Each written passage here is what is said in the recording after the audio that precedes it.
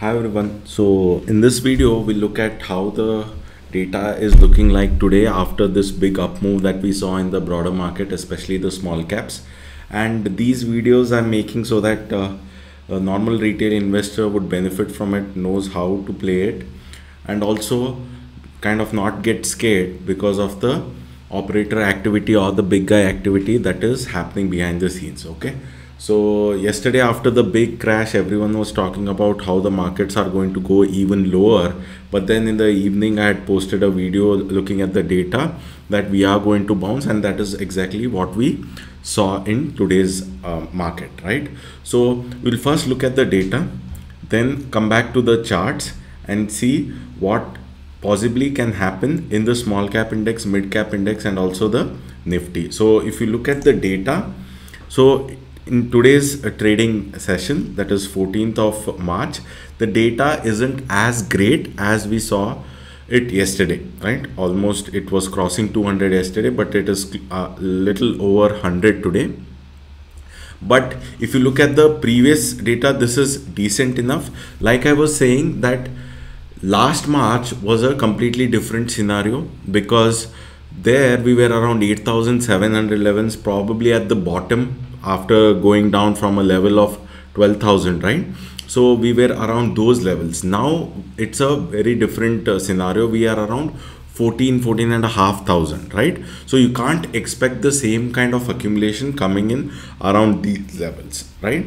Also uh, like in another video i have uh, talked about how after june probably there can be a recession and uh, a stock market correction. So when the scenario isn't that great. Usually the big guys won't be accumulating like we won't see the same kind of accumulation coming in that we saw in march of 24 or uh, 23 right? So but this is a decent enough accumulation and possibly what can happen if we look at the chart. So the small cap index kind of took support around the same level uh, here if you draw a line right? So uh, yesterday i was talking about the 30 wma how that acts like a very strong support right? So on the same level it also took support and we have bounce so now we will my best bet is we are going to make an uh, head and shoulder pattern all right so why do i feel that we don't make a i mean go up go on to make a bigger uh, i mean a new all-time high? So two things. One is if you look at the structure the structure is clearly pointing at a lower low lower high right? So in, that case you you it should not be crossing this particular level here right?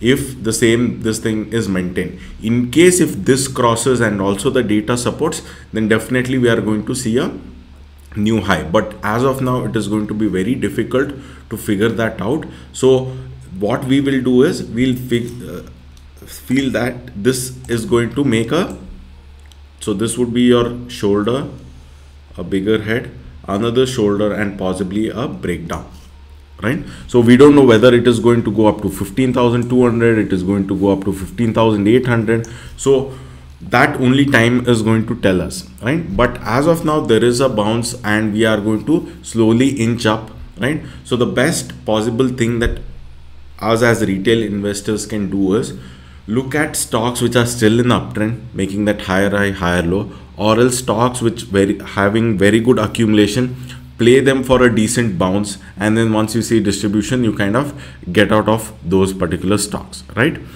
Or else in, in let's say things change then definitely the data will also point at very good accumulation coming in wherein after that you will see a very good rally also coming but as of now we are ruling out that case because if that was the scenario usually the big guys kind of put more money at the bottom itself and not once it starts moving up. But that can also happen. You can never rule out that possibility. So as of now uh, head and shoulder kind of pattern will happen. So we don't know whether it is going to go up to this level or even higher. So you can still be invested usually around this 30 WMA line, right? What happens is we kind of do a up and down kind of a uh, movement before we kind of finally break down, right? So similar thing with the mid cap index. So the mid cap index, if you look at it, very similar pattern. So if this was going to be your first uh, shoulder, a bigger head and then probably another shoulder and then we break down right and then coming to the mid uh, nifty so nifty is exactly at that particular level which it had broken down yesterday. So two things. Either it is going to break this and move up which i think is going to happen. So two things is one is no more uh, money is coming into small and mid caps right? So most of them are diverting the money into large caps as of now and also going into the election because mostly the election results are known like you know who is going to be elected again. And also if the FII buying continues usually they play the large caps. FIIs rarely play the small and the smaller mid caps. In the larger mid caps they play and in the large caps they play. So if FIIs money continues to pour in then you should see a new hype kind of being made in the nifty because the nifty chart structure has not made a lower high lower low right? As of now it is still making that higher high higher low. So in that case the best bet would be to play the nifty and play as long as it is going to move higher.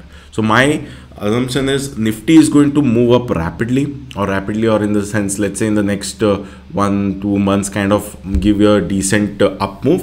Whereas the small and mid caps will also follow. But there instead of making a new all-time high they are going to uh, kind of stall before that and start reversing from that right so this is my view on the overall market how one should be kind of playing it. In case there is an uh, development or let's say an improvement in the accumulation thing then i'll definitely make another video in which uh, we can analyze what will happen in the coming days. Hope this helps. Thank you